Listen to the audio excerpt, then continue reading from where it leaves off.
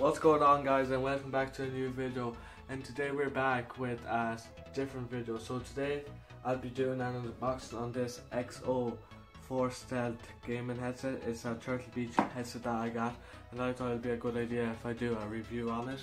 So this is it here and we're gonna start off by opening it and this is a, like an unboxing and a review. I'll be showing you how it works and the good features about it but yeah let's open it. So let's see what we have inside. I took off the sellotape just to make it easier. Okay, so this is it here. And let's see what's inside. Okay, so this is the box here that get. That's back as this. So inside this is what you see here, this is what you get and the headset I think is underneath but we'll start off with this first. So as always you get this thing just this head thing to help you set it up. Okay. then this is the mic you get. Here. It's actually a pretty good mic. It's long so that's good and it's very bendy. So that's good. As you see here. You can bend it different ways. Okay so if you have an Xbox One, you can use this here, this adapter. Let's open it and check how it looks. Okay, so in here you just get this little adapter, Xbox One adapter. And it's pretty cool. Let me just that, this plastic thing. You get this adapter here. It has like different volume things on it and stuff. Camera, yeah this is for the Xbox One. Okay, let's see what else you get. So this is the most important thing, you get this headset, the gaming headset, and it's actually a pretty good headset. I've tried it out a few times, and I decided to buy it. And this is the headset here. It's very small, but it fits your ears very well. And it's actually soundproof, so like, if there's someone in the room you won't be able to hear them, you can only like use this and you'll be only hearing the game sound. And it's actually, you can hear all around you, so if you're playing Call of Duty or something, you can, you can hear all around yourself. And this is the game headset here, and this is the cable. It's not that long, but it's good for the controller. And let's see the mic push into the headset. So I think at the bottom here. Here on the left, on the left here, you push on the mic. So let's push it in. And you have to just get it in the right. Okay, and yeah, here. This is the mic and the headset together. So it looks pretty cool. I'd, re I'd really recommend getting it and uh, this headset is like $70, $80 and it would cost around maybe I don't know maybe 50 60 pound. And euros would be around 60 or maybe. And this is the headset here. Let's just stick this way.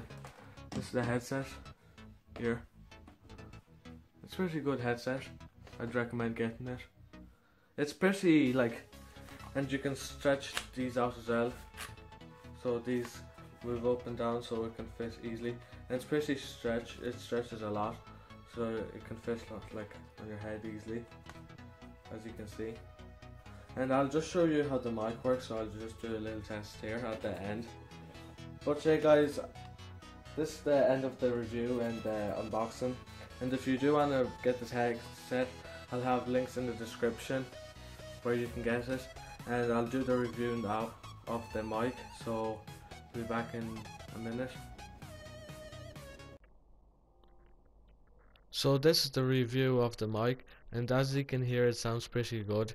It like if you're playing with people online you can hear them well. If they're lis um, listen to you they can hear you well as well.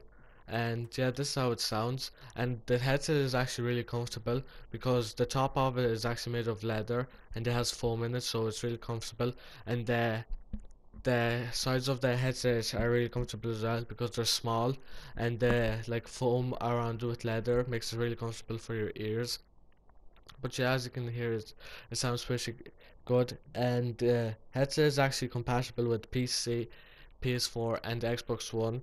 If you want to use it with PC, all you have to do is just get a female to Y split, female to male Y splitter, and I'll have that down below in the description. You can get it on like Amazon for maybe like two dollars or something, which isn't too bad.